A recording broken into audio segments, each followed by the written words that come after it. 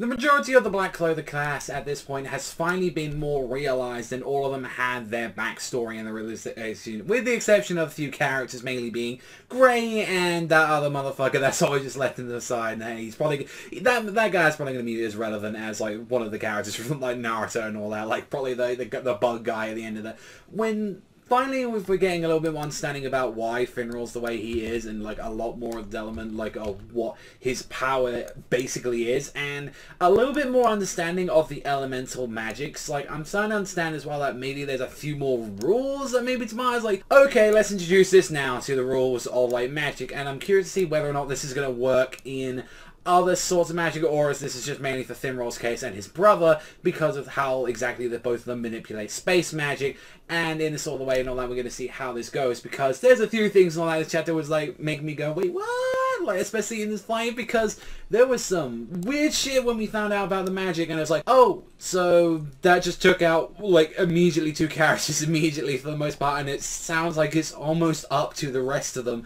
like of Leo and the gang to take care of everyone else. So immediately one of the first few things that we saw in this chapter was we got to see a little bit more of Finral and his brother's past. It was like oh here's like your fiance like a life of your brother and all that. Like you know she's like got a chronic illness and all that and she's not really able to venture outdoors and she comes from the you know lineage that has strong magic abilities. So pr it's pretty much like how all like lineages and all that from royalty is. It's like you know oh this co she comes from like you know a fair noble like she's like a baron's daughter but like you know the lineage leads all the way up to here. It's like oh this is you know the gene pool will make you know greater for our generations to come. You know all that shit and all that that you get from like royal families and all that.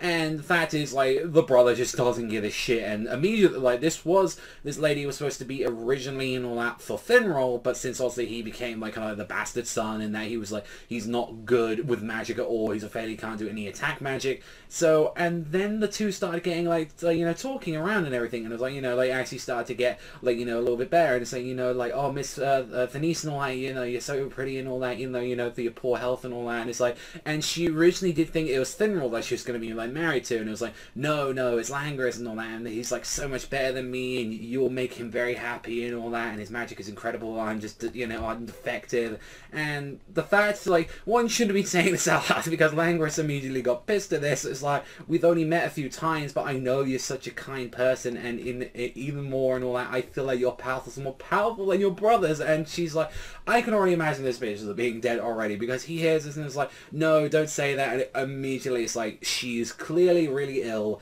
She's either like in bed because of what like her brother did or that she's just full out dead and all that because he probably attacked her or like left her out and all that abandoned her and that's what happened. And this is what caused what like probably the one of the biggest risks between why Finral left the house in the first place why he abandoned the household and went to the Black Bulls like is something that like trickled down because Langris is a jealous piece of shit because he has to be like throughout the entirety of like where every we see in his family it's like he has to be the superior one. He has to be the one that excels. He's the future of the family, and their brother's a fucking failure. It doesn't help when, like, we literally see this chapter, and it's the mother shitting on Finral. It's like, oh, yes, my other son, but you know I only love my, you know, Langris because he's amazing and everything, and it's like, you know, and he's like, every time they'll use the excuse all that, you, you know, you're shit and all that, and, you know, you know, like, you're not good at studying and everything, you're not, like, nothing compared to, like, this other side. It's like, God fucking damn it! I feel bad for Finral at this point because his pet he was never loved. Like just any time when it, when it came to his magic and all that, it was just like this is defective. Get him out of here. But we're seeing with the rules of the magic now that apparently uh, whether or not this is like applying to other magic beforehand but if you apply space like with the space magic because how their ones are intertwined with another the fact is that they can cancel each other out Meanwhile, while they, they was able to stop the magic that was going to be attacking Finral and his team.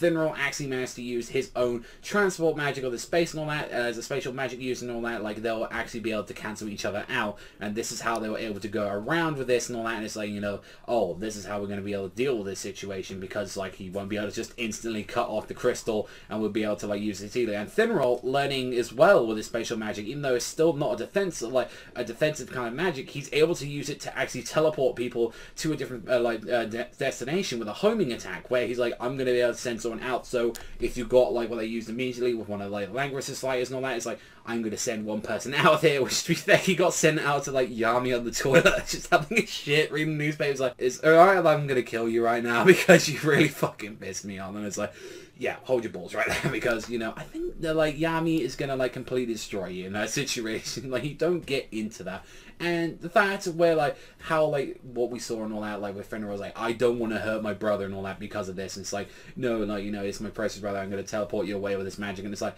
that was a mistake really to realize that. And especially you like when we saw Langris's partner and all that like the Ice Maiden like chick from we got to see and all that. Leo and also the other youths and all that the his name and all that were trying to deal like with her. And she immediately used like the snow magic to numb their senses. And Leo since he's been like learning you know obviously from the like the boot camp from what they had with the mana skin he was able to kind of deflect this and able to damage it slightly. But they're already at a disadvantage. Like we got to see that Finral's brother like Langris and all that like they already taken one fire out of this fight fight already. So it's only a matter of time, like, albeit and all that, we saw Langris pulling out this magic and all that, he's like making him use his grimoire, and we're seeing like all these little spatial balls coming out there, and him obviously losing his mind and all that, like he's now about to try and show him who's boss.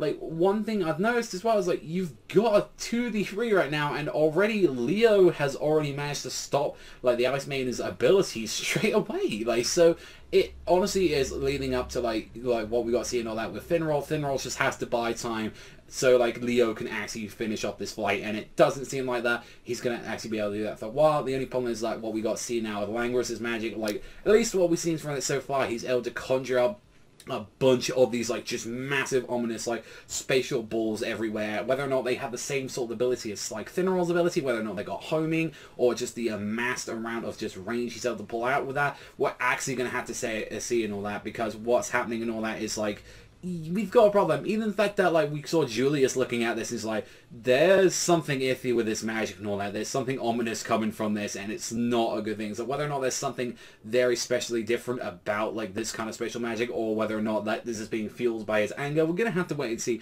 Overall, and all that like this chapter and all that, it's okay chapter and all that so far and all that. It's getting a little bit more clarity for like Finral's backstory, getting a lot more than a lot of us probably was expecting from that, and even as well as like it's like Finral has just got to buy time and all that, like until Leo and his other partner can finish this off. But overall, his new magic, his homing one, is an interesting one.